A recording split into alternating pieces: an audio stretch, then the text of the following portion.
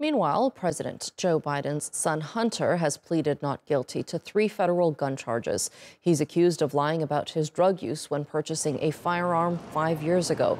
Although Hunter admits to struggling with a crack cocaine addiction over the period in question, his lawyers insist he didn't break the law.